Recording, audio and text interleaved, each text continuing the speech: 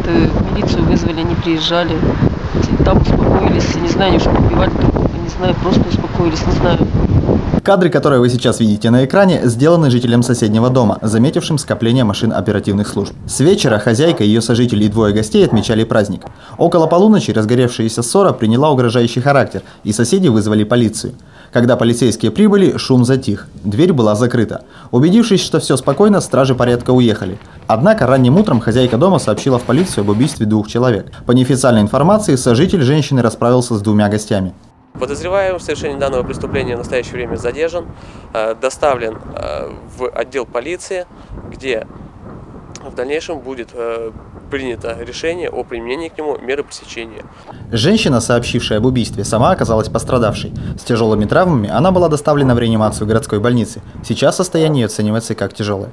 Вячеслав Горецкий, Вячеслав Алексеев, Галина Крикливцева, телекомпания «Кунгур».